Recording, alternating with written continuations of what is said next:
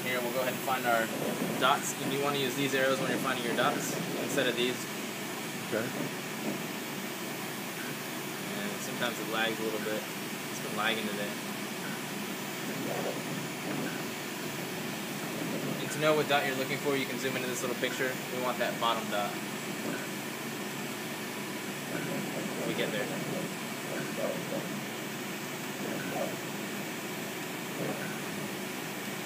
And it'll find this little green circle around it.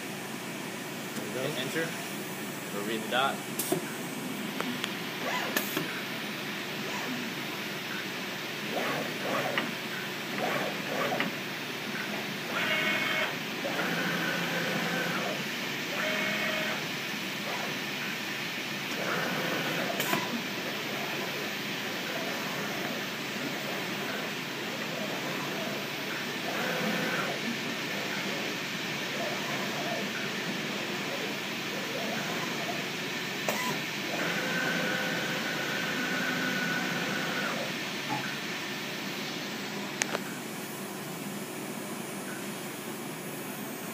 Ta-da!